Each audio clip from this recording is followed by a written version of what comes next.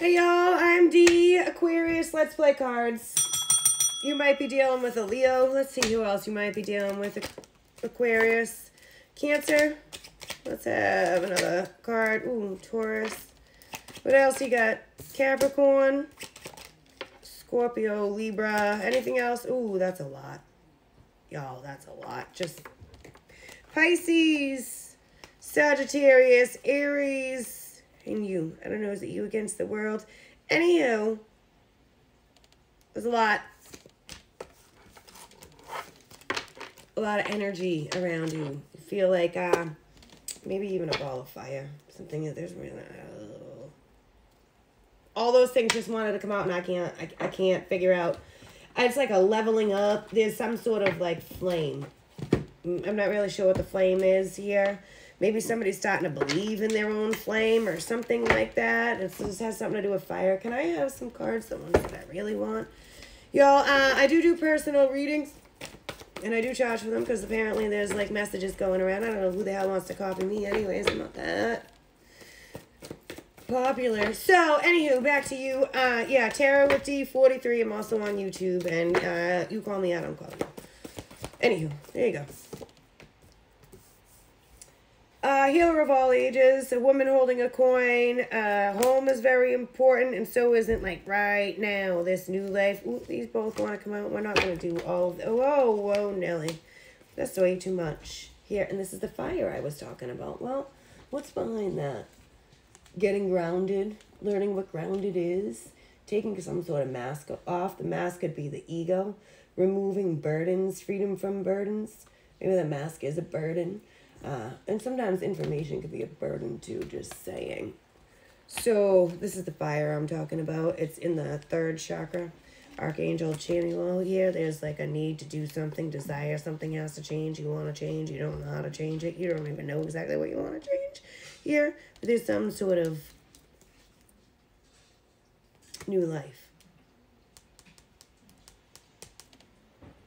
Two, three, four. Forward movement. That's all good stuff. Choosing to be in the moment, in the now. Let's see what's up. This is about a spiritual support and purpose. This is being in the now and being happy and content. Content is happy. And there's a, a new life. So, a lot of emotions of desire. That's the fire. Uh, can I have some, what's all this healing out here? What is this healer energy? Temperance, an angel. Communicating with an angel, uniting with an angel, collaborating with an angel, angels collaborating together to overcome barriers here. And there's that motherfucking mask here. Behind some, I don't know, it's like a... Um, the vessel. Can I have another card? Thank you, the devil. King and Queen of Earth are out here. What I don't understand what that is though.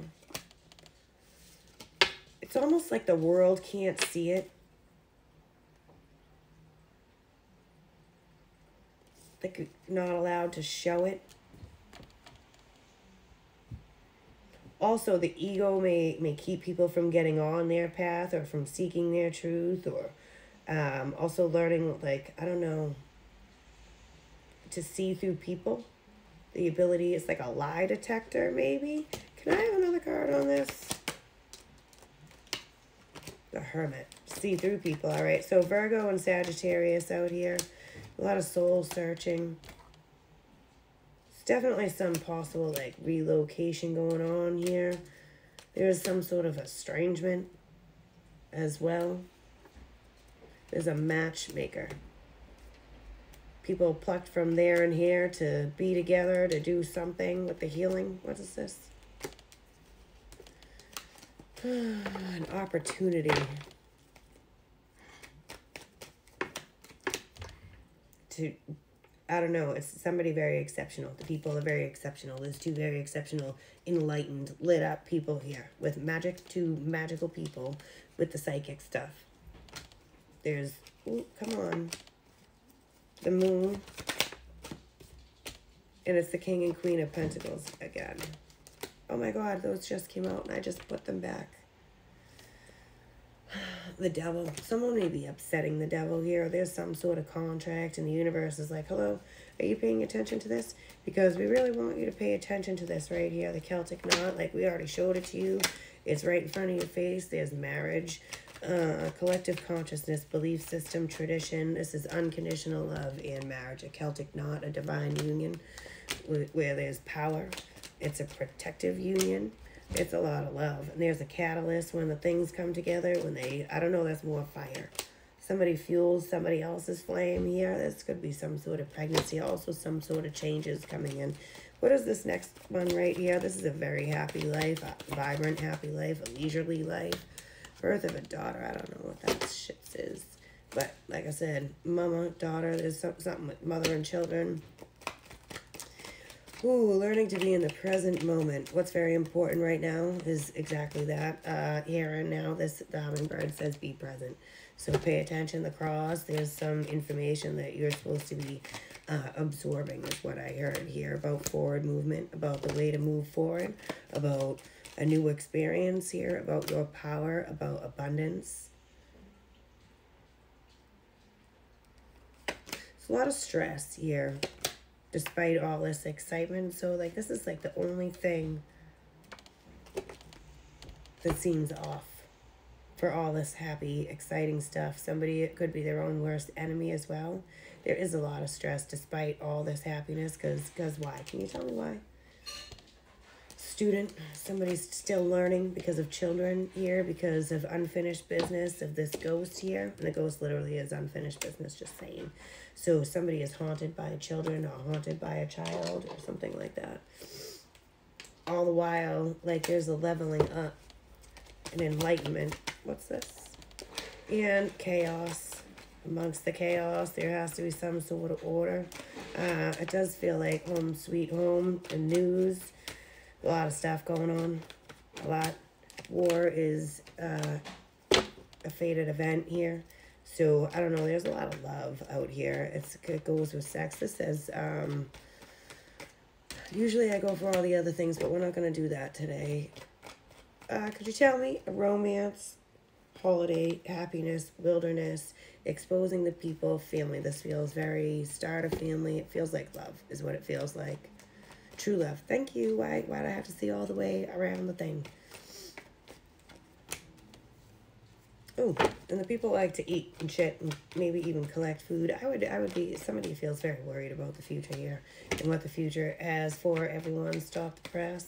Also, somebody wants to scream from like the mountaintop. Somebody is very much in love.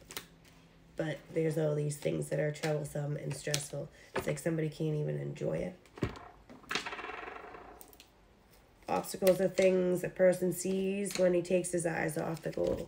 Look at True love stories never have an end. It's a forever thing. This is what I'm saying. Like, I can't make this shit up if I motherfucking... Like, if I tried. I just can't.